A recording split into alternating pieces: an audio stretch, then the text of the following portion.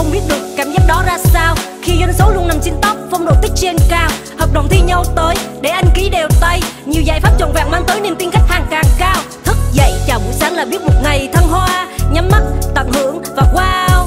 Em có thấy được không? Ngọn lửa cháy bên trong ta. Và những thứ mà em mong muốn đang cách tầm tay không xa. Yeah. Không khó, cùng em đang siêu chiều gió. Con sống ủng hộ em làm điều đó. Thuyền em đi về phía trước trên đường dài, chân cứ bước để thực hiện những điều ước em trở thành vua trên mặt nước nắng trên đầu em vẫn đắc thắng. Chắc chắn cơ hội này em phải nắm bắt. Lắc rắc vài hạt mưa làm cho nắng tắt.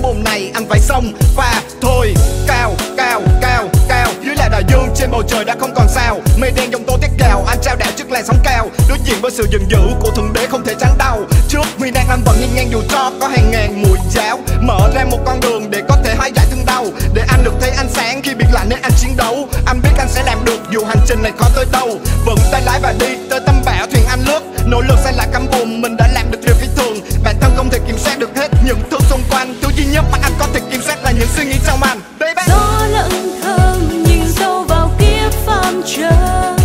Người gánh đua người hơn thua người níu lấy tay người xây giấc mơ.